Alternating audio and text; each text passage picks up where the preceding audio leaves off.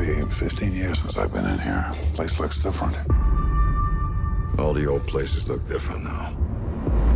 I'm the only one ever cared about you. And all of that ended an hour ago when you killed my son. I pulled the trigger. I killed Danny. I had to. He was going to shoot Michael. I'm here asking for my son's life, Sean. He's a good kid.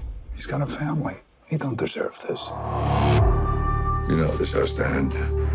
I'm coming after your boy with everything I got. And when it's done, and it will be done, then I'll let you die.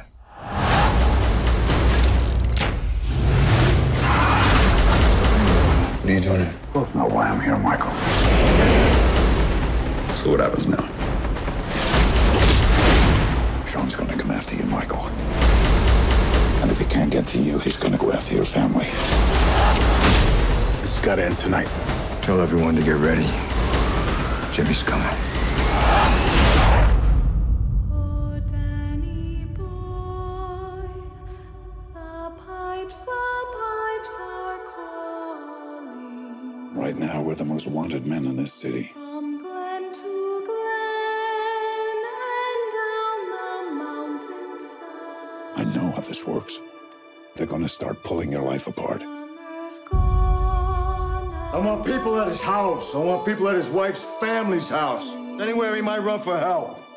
And the cops, they've got their own motivation. You must go and I must buy. You've got to worry about staying alive. I'm the best chance you've got. Listen to your father for one night.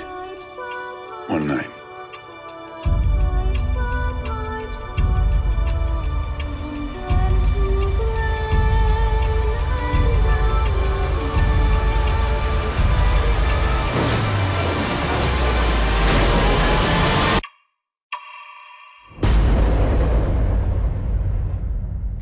A night, huh, Jimmy?